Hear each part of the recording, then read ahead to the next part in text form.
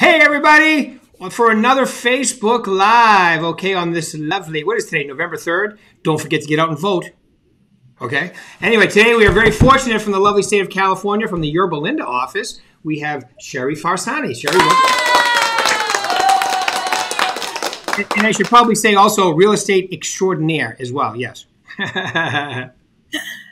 Good morning, Greg. Good morning.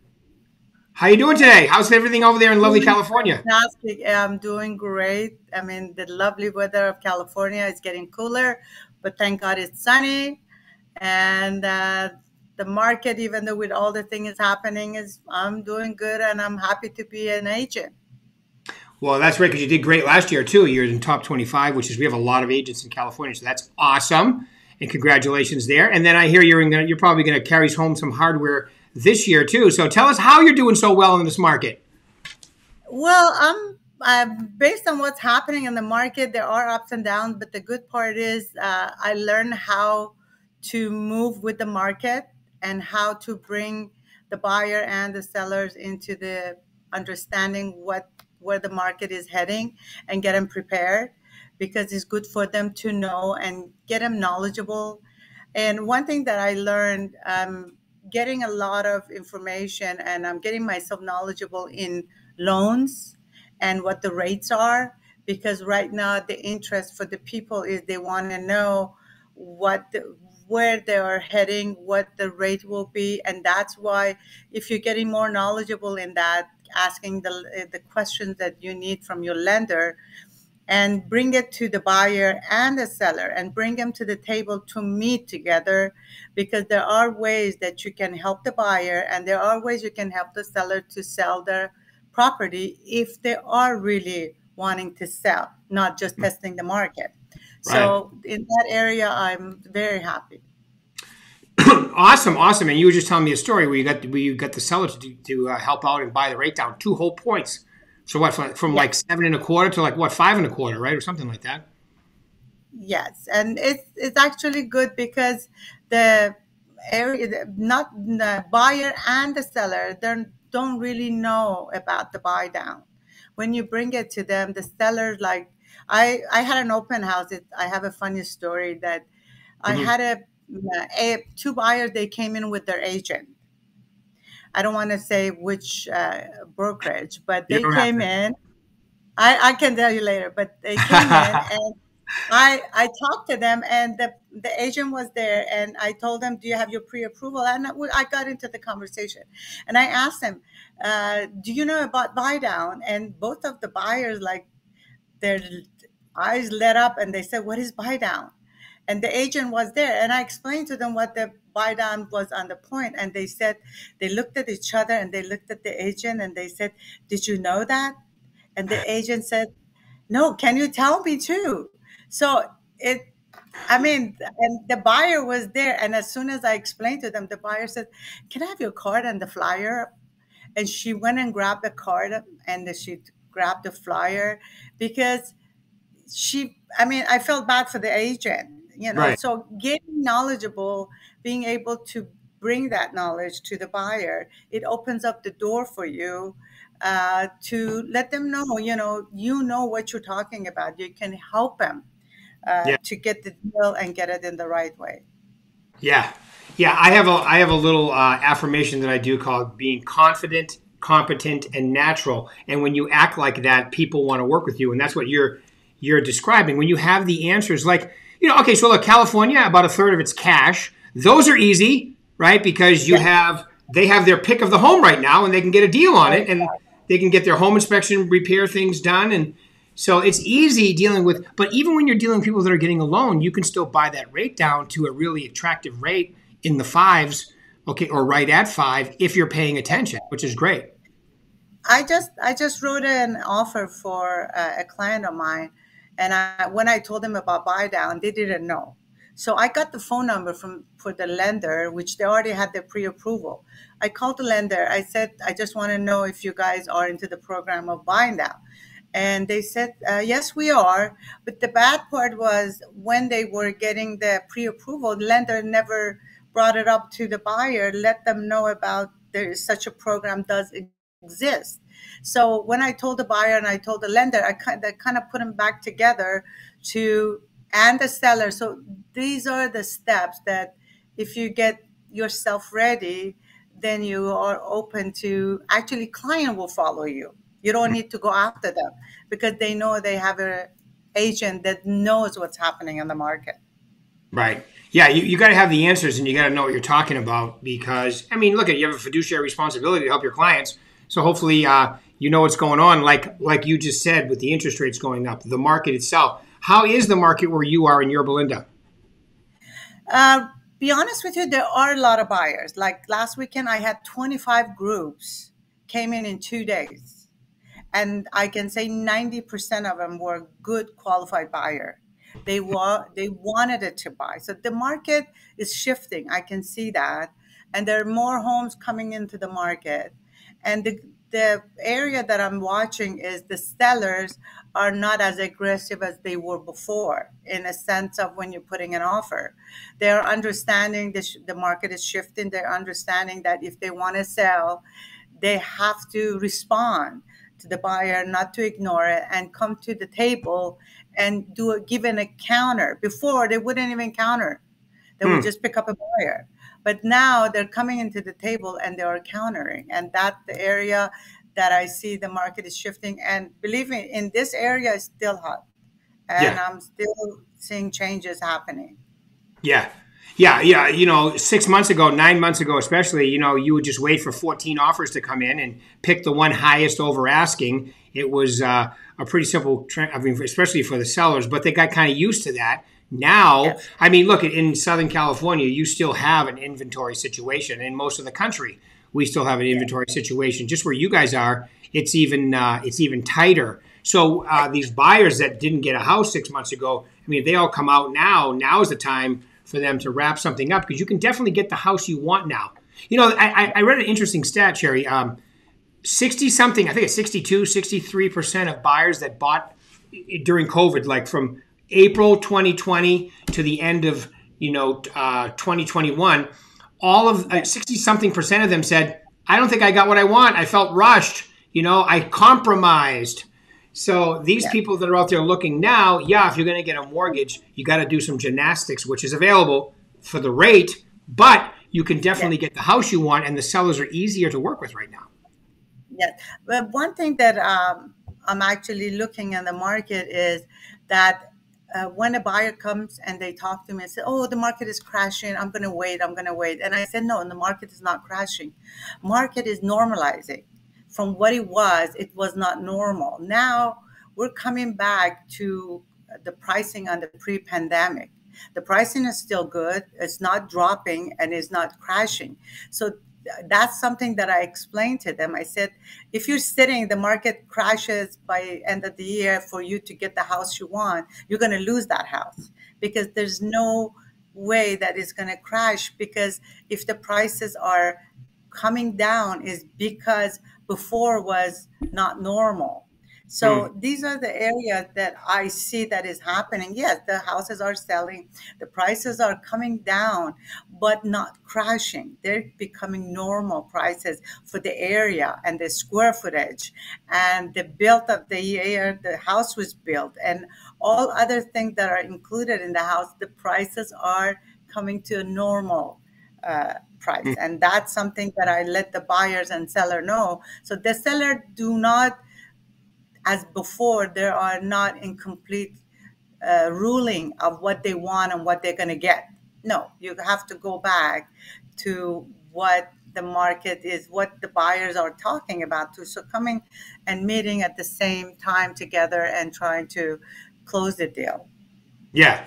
Yeah, they're not selling for way over what they're worth like they were a few months ago. Now they're selling for really what the property is worth. It doesn't have that crazy situation. But you know, I mean, we still have an inventory situation, so they're going to keep moving. The question is, uh, when do you want to wait? You know, what's going to happen is uh, we'll have all these people on the sidelines because the rates are up and people are going to wait. But it really is an opportunity. It's kind of like an eye of a storm, if you look at it that way. It's an opportunity to go out and get the house you want because as soon as these rates starts to adjust again, uh, you know, we got an election next Tuesday, or hopefully you get out and voted early. I always do the early because it's easier right? Go out and vote early. And um, you know, uh, after next week, we, we, could have some changes. Some things could change. So it's very, you know, yeah. you know, knock on wood. Uh, they can't go much higher. They could go a little higher, right?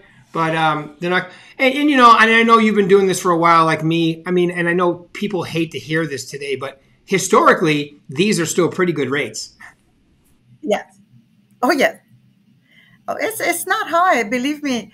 Uh, when some of the older buyer come and they talk to me, they say, "Oh no, seven, seven and a quarter is nothing. I paid eighteen percent when right. I bought my first home." So right. to them, it still uh, is low.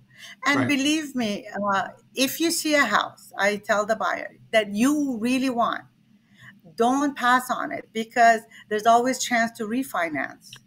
right. There are other programs that you can get and talk to your lender to be able to get the house you want versus losing it just because the rate are one or two point higher than what you expected. But you can refinance always uh, and don't lose the chance uh, on the house that you like. Yeah. Yep. You know, as the saying goes, marry the house, date the rate. exactly. right. Yes. Yeah, I love that one. I heard that from Prosperity. I love that. That's a great way to put it.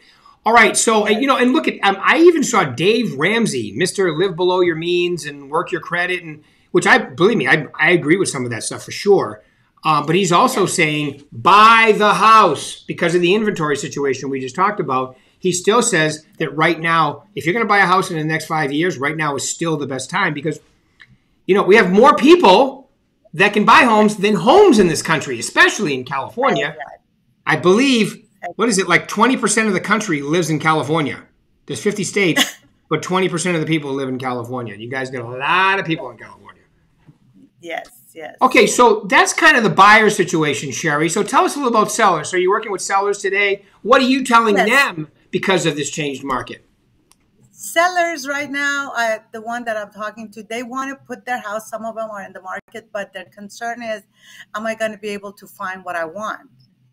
And uh, that's the question mostly that I get from them. And also, their their concern is as well for the rate because they want to sell and they want to buy and they're looking at the rate. The house that they're selling is two and a half to three percent as far as the rated. Now they're looking at their buying, it's about seven percent, seven and a quarter. So again, I bring them the buy down rate for them to do, but at the same time, they some of them are holding back. Some of right. them are holding back because their concern is not being able to find what they want. Uh, and some of them, unfortunately, you know, they're saying that no, I'm going to live in it and I'm no matter what. But there, it there's a for me there's been a, a point that I'm trying to still to bring the sellers that they are buying, they are selling. They want to sell, but they want to wait till the January to see what happens for them. And right now, what I'm doing with actually the buyers that I have, I take the buyer to them let them meet the buyer that they are buyer to their property and bring them to the table that way to uh, for them to list their property and sell it. So that area i'm still uh, working to get the sellers to come in and uh, they're they're still more hesitant to put in the market. That's why there is less home in the market uh, as we're expected to have. Right yeah. So what you're saying is um, pe- there are still people out there that um, can't find what they're looking for. Their house yes. is at a great rate of like 2.9, 2.75, three and a quarter, right? The interest rate they're paying on it. And they're looking at downsizing. But because of the rate change, it makes the payment not that much more attractive. But if they're paying cash, obviously that doesn't matter. But um, but yeah, I, you know, you guys, that's what I'm and saying. What's they that? put their house on contingents in uh, finding their, another property. So that kind of slows down for them to selling the property when the buyer has, and they want to. I, I, had a house that I put it in contingency for them to finding a replacement property, and we got an offer, but the seller says I'm not going to rent back.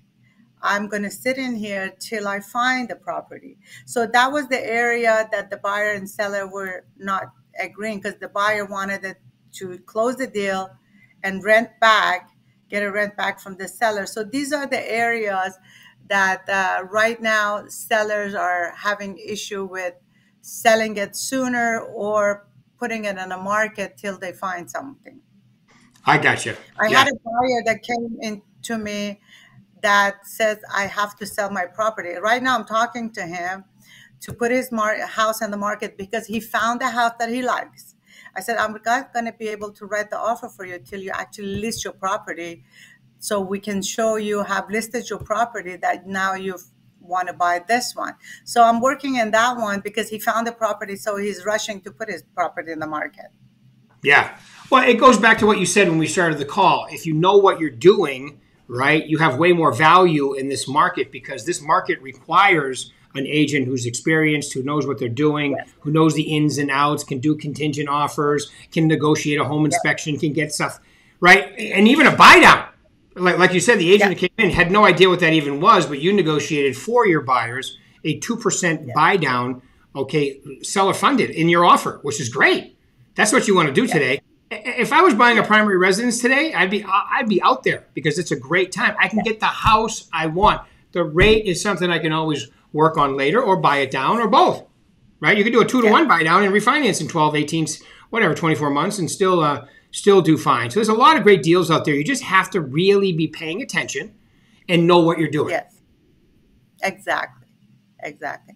And one thing that I honestly I tell a lot of the agents that I talk to, I actually uh, brought two more agents to the office that they sign up and I'm working with them is get yourself knowledgeable. You're not just an agent to show homes. You're an agent. You got to learn what you are doing and being able to give the right information especially in this every in every year if we look at it there are areas that we have to get knowledgeable in that area Right. right now this year we need to get knowledgeable in about rates about loans about uh, how we can help them to get a better rate so these are the areas i always tell the agent get yourself knowledgeable yeah study work you know learn educate it's all good stuff for you and uh, you know and then this market will be really good to you you know what what you're describing is did you see alan dalton do the forever agent thing that's what it sounds like you're yes. Right? and yeah. I loved it. Oh my god, I got so excited, and I so much information. It, he's he's phenomenal. He's phenomenal. Yeah. I, I listen great. to him a lot. Yeah. He's great, but you know, I have a question. When you're a doctor, you have a continuing education to go. Right. Because you need to get updated on what's happening in medical field. The reason I bring this part because I work in medical field for 30 years. So they have to get educated and they go con- constantly continuing education. The same thing with agents. Right. We need to go to continuing education, get educated, go to the people that they can give us the right information to educate us to the right way to be able to give that. The more educated you get, the more knowledgeable you get, the easier it gets for you. And the more value you have as their agent. Yes. Right? They follow you. When you have that knowledge, they'll follow you. That's right. And they'll tell all their friends, and then you'll have repeat and referral business from it. And let's face it, for, because of your fiduciary responsibility, it's just the right thing to do. Yes. Yes. Right. Like you said. One, thing, one thing I want to only also tell some of the agents is before, and it's still done. I you see a buyer comes and says, "Oh, you know what? Uh, I want to let uh, listing agent. I'm just gonna have my list, the listing agent write my offer. I don't. They don't want to have a buyer's agent. I had one client that worked fantastic. It was she came to me. She saw my open house. She I wasn't the listing agent. She said that I want the listing agent to write the offer. I said why? She says, well, um, I think I have better chances with listing agent. I what I told her, I said there's always better when you have two knowledgeable agents negotiating and you have the right to have one agent just protecting you and your right.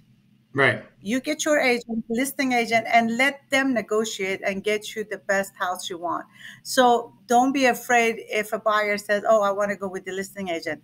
There are ways to show them and talk to them to help them to understand why it's important and it's good to have two agents, but get knowledgeable to be able to negotiate for them. Yeah.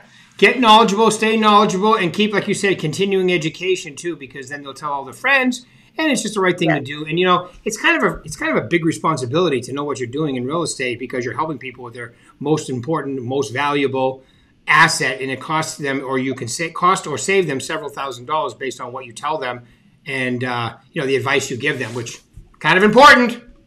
Yeah, but honestly, I gotta hand it to you, Berkshire Hathaway all the uh, people that they're working there because I'm learning from you, from Alan Dalton, from Larry, from the meetings we have every Tuesday with Larry. Honest to God, yeah, it is. There's so much information. There's so much information that I always, always pay attention, and I try to use them, and yeah. that's really helpful. Yeah, and thank yeah. you guys. Larry is really no. I, I love Alan, and I appreciate that too, Sherry. Thank you very much.